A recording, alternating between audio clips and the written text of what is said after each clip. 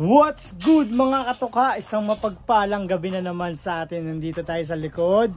Yan si Bruno, gusto siyang kumawala pero hindi ko siya papakawalan kasi baka tumakbo-takbo lang siya.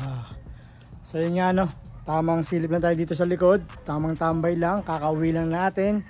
Galing trabaho, like kahapon. Gantong oras talaga yung uwian natin.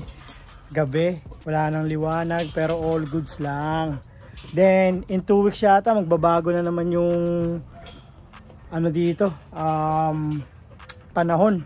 Like, mas mahaba naman yung gabi kaysa sa araw. So, mga alas 5 pa lang is madilim na. So, yun, mas madilim pa yung madadata natin dito kapag pag uwi na tayo. Kasi alas 5 pa lang madilim na. Dating tayo ng bahay mga 7 pa no? Before 7 pero all goods lang yun. Basta po may pagkakataon na isisilip tayo dito. So tara samahan nyo ako maglakad patungo doon. Silipin natin kung ano yung natapos nila. Kasi tinira na naman nila ni RMTK tsaka ni Utol Brown G tapos wala na naman tayo tapos tamang video lang tayo di ba ganoon naman talaga ang buhay let's go samahan nyo ako mga toka So yun nga ano, naglalakad na ako patungo dun sa Stockbird Lock. Yan yan. Todo cover nga palang ginawa dito kasi kahapon is malakas yung hangin tas malakas yung ulan. Iniingatan lang na hindi mabasa yung mga tae nila baka kasi magkasakit. So ito yung paligid madilim. Wala tayong kasama pero baka meron tayong kasamang mga hindi natin nakikita. So ito na yung kulungan. Naisarado na nila yung baba. Yan o, kahapon di ba wala yan. So, ano na to, 70% na to o 50 pa lang. Basta almost done na to eh. Yan guys, napaka solid yung nadagdag dito. So, sinarado na pala nila yung mga bukas kahapon. Yan o, tulad niyan, katulad nung nasa babang wall, yan. Then, doon sa kabila wala pa, pero all goods na yan. Nabulol pa tuloy tayo, all goods na yan, basta yun na yun. Then yung bubong natin, nilagyan niya na ng ano, yung parang kagaya din sa bubong namin. Hindi ko alam tawag din basta yun na yun. So solid. Malapit na to. Makakalipat na yung mga kalapati dito. Makakalipad-lipad na sila na mas maluwag. Then mas makikita na natin sila no? Update tayo dito. Yun sila oh. tamang tulog lang sila. Yan. Hindi ko alam kung makikita yun sila. Yan. Yan. Tingnan natin sila. Hindi makita guys. Malabo. Yan. So yun nga na tamang tambay lang sila. Ayun siya sino to? Kung kalala nyo. Ayaw mag ano? Ayaw magpakita so yun nahirapan ako mag zoom malabo siya pag sinum. Gabi na kasi ayun sila tamang tambay nga lang sila no? So tinakpan niya to. Talagang cover na cover. Kasi iningatan niya mabasa yung tae nila para iwas sakit no? Kasi nandiyan yung mga ano eh nag ano nag lalabas ng mga nilalaban niya sa one love price na napaka solid na nagbibigay karangalan sa kampo. So yun. Hindi ko na ito mabuksan kasi yung susi nandun sa loob pero try natin masilip sila dito. Yun sila oh. kagabi na kasi dito. Kaya na natin sila. Ba may storbo pa sila. Labas na tayo dito. At yun. Yan malapit na matapos guys oh. Ilang palo na lang to. Tapos na to guys. Then ito yung kapitbahay madilim walang liwanag. Bukas nga pala no Halloween na no. So mag-iikot-ikot kami kasama mga bata.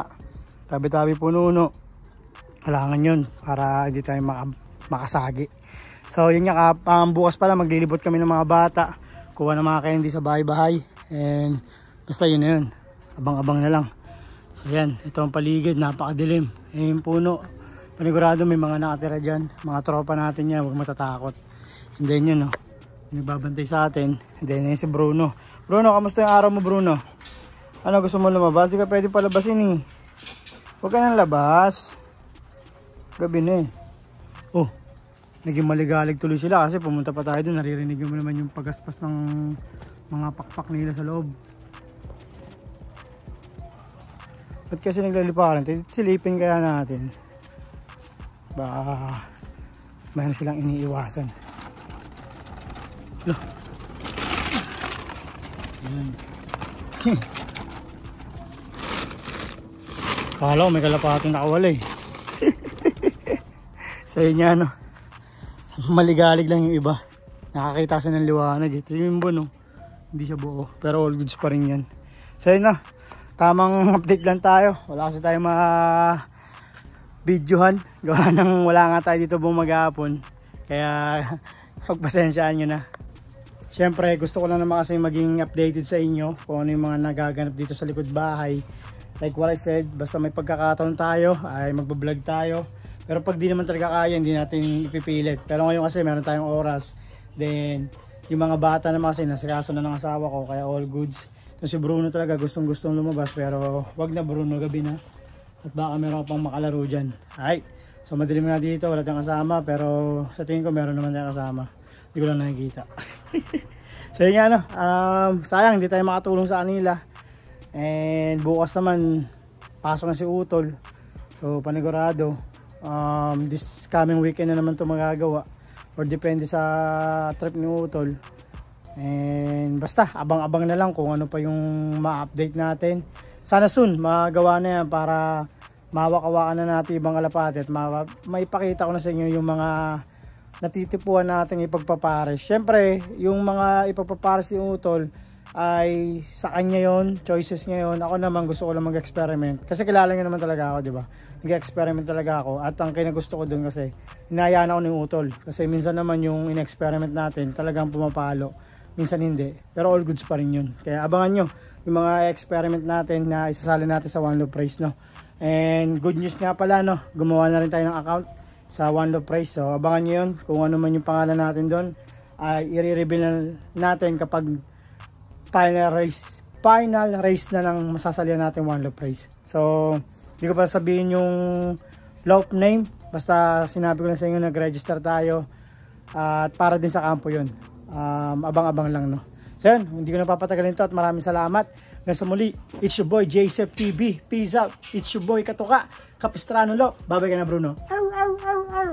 See you next vlog. Bye-bye. Oh.